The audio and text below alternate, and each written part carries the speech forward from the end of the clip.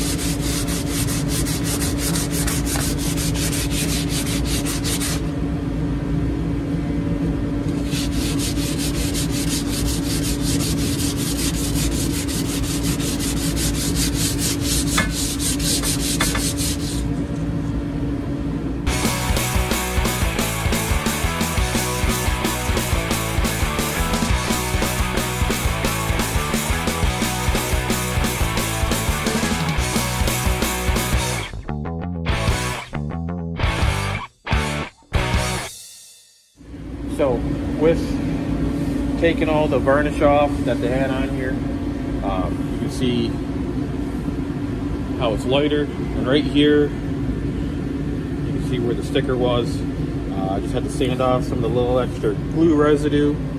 But now let's flip her over, do the same. and then come at it with a finer paper. All right. So again, just do the back side of it. Get all this extra burnish the crap off of it. Smooth up the handle. Put a nice coat of linseed oil on it. This thing will be ready to go for the summer.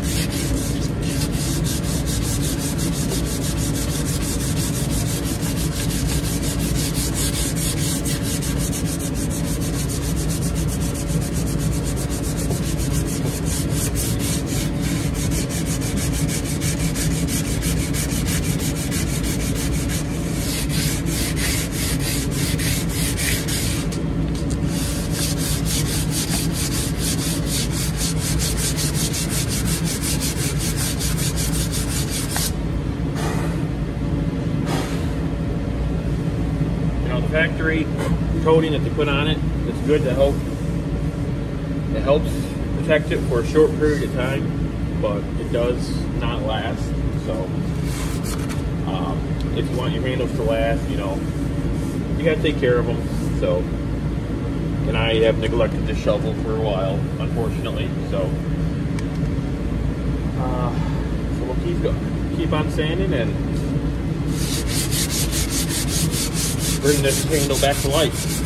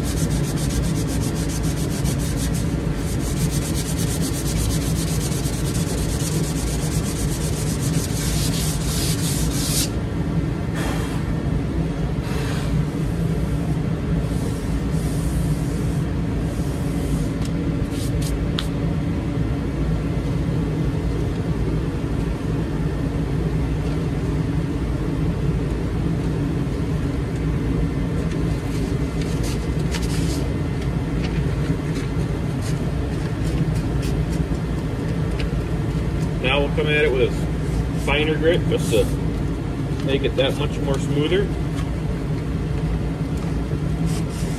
And then we'll add the linseed oil to it.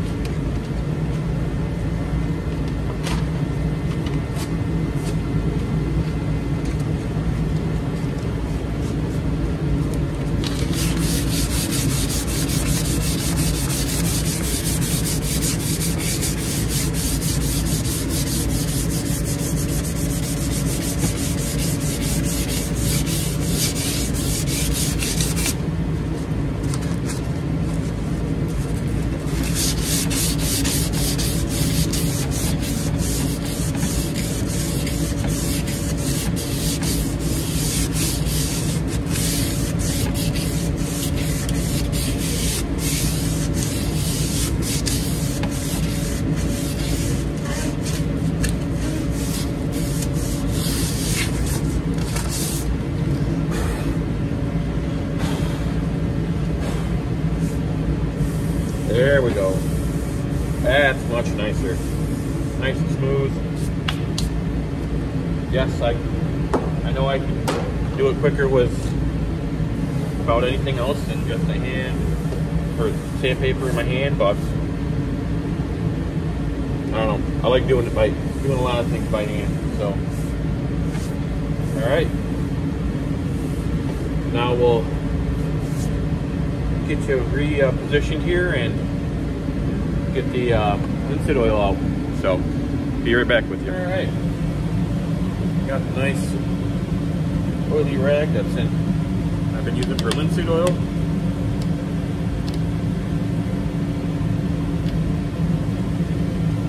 Here we go.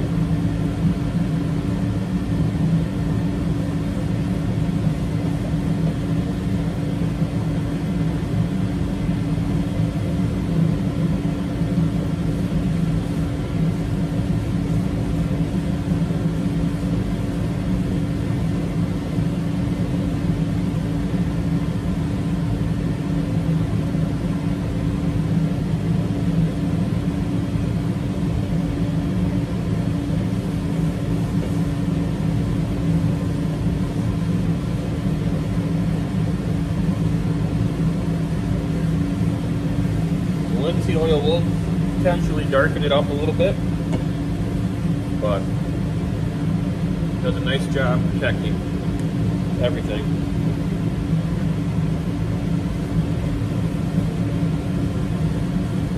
Make sure you get a good coat on it.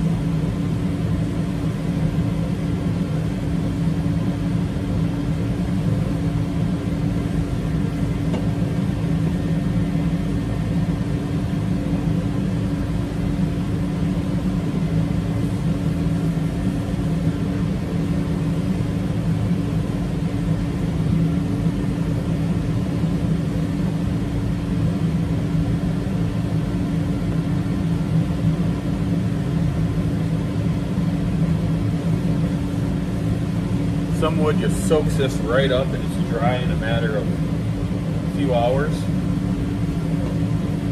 The others takes a little bit longer. It just depends on moisture content in the air, all that fun stuff, heat.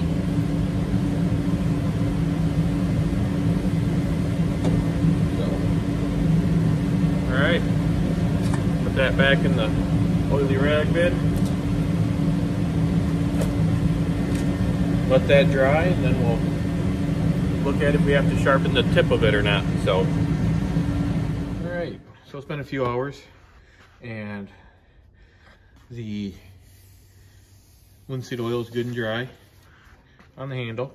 It's nice smooth. And there's Kimber. Hey Kimber. Hi buddy. So now we'll take a look at this tip and see what we got going on there.